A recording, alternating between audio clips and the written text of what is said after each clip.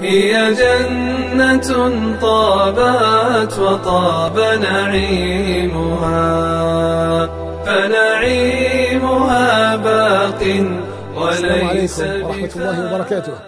الحمد لله وحده والصلاة والسلام على من لا نبي بعده.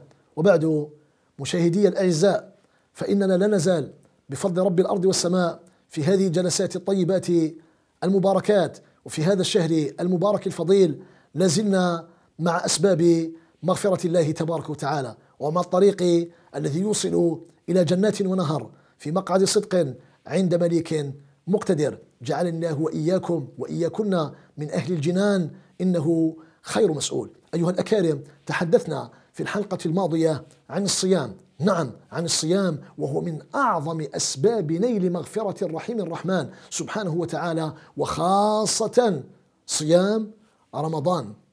ثم إن النبي صلى الله عليه وسلم قال الصيام والقرآن يشفعان. الله أكبر. جمع بينهما. وفي الحقيقة شهر رمضان هو شهر القرآن. الصيام والقرآن يشفعان للعبد يوم القيامة. يقول الصيام أي ربي منعته الطعام والشراب ومنعته الشهوة فشفعني فيه فيشفع ويقول القرآن أي ربي منعته النوم بالليل فشفعني فيه فيشفعان يشفعان ويشفعان بفضل الله سبحانه الرحيم الرحمن.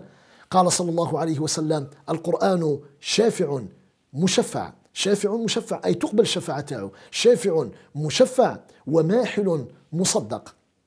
من, جهل من جعله بين يديه ساقه إلى الجنة ومن جعله خلف ظهره ساقه إلى النار. نسأله تبارك وتعالى أن يعيذنا وإياكم واياكن من النار وبئس القرار. إنه ولي ذلك. والقادر عليه. اذا الله الله في الاهتمام بالقرآن العظيم. إنه كلام ربنا سبحانه وتعالى. كما كان يقول عكرمة رحمة الله عليه يمسك بالمصحف ويضعه على صدره ويقول هذا كلام ربي هذا كلام ربي. الله أكبر. شرف والله أن يقرأ العبد كلام ربه سبحانه وتعالى. نحن أحيانا نتشرف بقراءة كتاب فلان وفلانة ونتشرف بقراءة بعض الروايات لفلان وفلانة.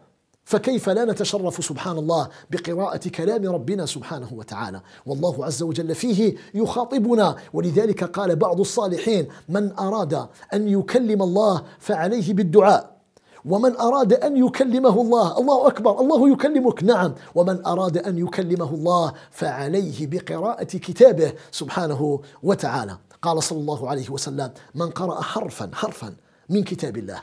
فله به حسنة والحسنة بعشر أمثالها. لا أقول ألف لام ميم حرف ولكن ألف حرف ولام حرف وميم حرف لا إله إلا الله. ألف ومئة وثلاثين حسنة. إذا قرأنا الفاتحة 113 حرف.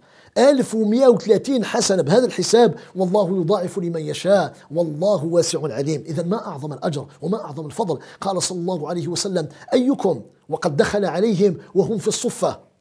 الصفة مكان كان يجتمع فيه الفقراء. دخلنا النبي وسلم قال أيكم يحب أن يغدو إلى بطحان أو إلى العقيق؟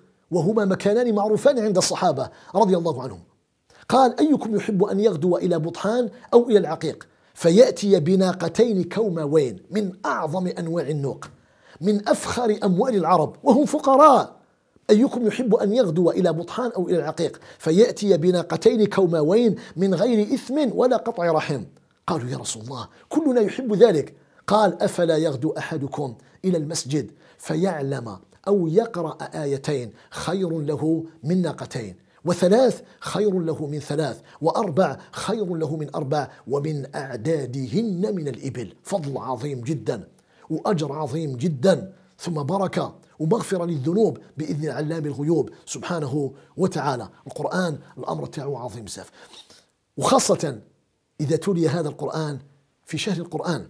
إذا تلي هذا القرآن في شهر القرآن. تعرفوا باللي آه، شهر القرآن, القرآن رمضان ما عظم.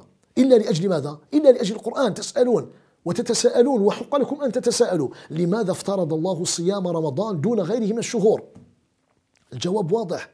شهر رمضان الذي أنزل فيه القرآن هدى للناس وبينات من الهدى والفرقان. فمن شهد منكم الشهر يعني هذا الشهر الذي أنزل فيه القرآن فمن شهد منكم الشهر فليصمه فمن شهد منكم الشهر فليصم إذا تعرف باللي عظم القرآن لأجل عظم رمضان لأجل لأجل القرآن لأجل بركة نزول القرآن فيه معاشر أكارم نحب جميعا أن نكون من أهل الله وخاصته. شرف والله. أتدرون من هم أهل القرآن؟ أهل الله. أهل الله هم أهل القرآن. إن لله تعالى أهلين من الناس. قالوا من هم يا رسول الله؟ قال أهل القرآن. أهل الله وخاصته. أهل القرآن أهل الله وخاصته. ومن بعد هذا القرآن والاهتمام بالقرآن ليس قاصرا على الحفظة ليس قاصرا على من له مستوى عال في التعليم. كل واحد يقدر يقرأ القرآن ويستفيد من بركات القرآن وخيرات القرآن وأجور القرآن وثواب القرآن بإذن الكريم المنان سبحانه وتعالى. قال صلى الله عليه وسلم الذي يقرأ القرآن وهو ماهر به. مع السفرة الكرام البررة والذي يقرأه ويتتعتع فيه وهو عليه شاق له أجران له أجران أجر القراءة وأجر التعب والمشقة له أجران كما قال نبينا صلى الله عليه وعلى آله وصحبه وسلم. معاشر أكارم كان السلف رحمة الله عليهم اقتداء بنبيهم صلى الله عليه وسلم يتفرغون في رمضان لقراءة القرآن وكان بعضهم يغلق حانوته ليتفرغ للقرآن العظيم. وكان كثير منهم يترك مجالس الحديث وغير الحديث من أجل قراءة كلام الله سبحانه وتعالى لأن رمضان هو شهر القرآن. حفظكم الكريم المنان. فرصة لنحصل الملايين من الحسنات وفرصة لنعود أنفسنا على الاهتمام بكلام ربنا على قراءة كلام خالقنا سبحانه وتعالى ولنحذر كل الحذر من هجر القرآن.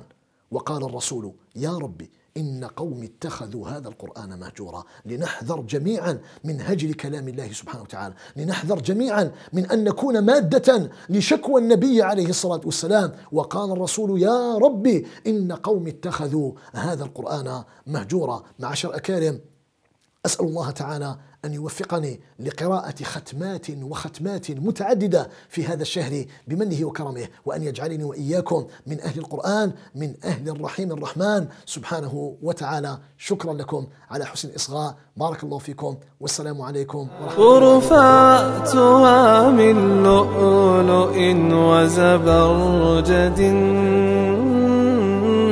وقصور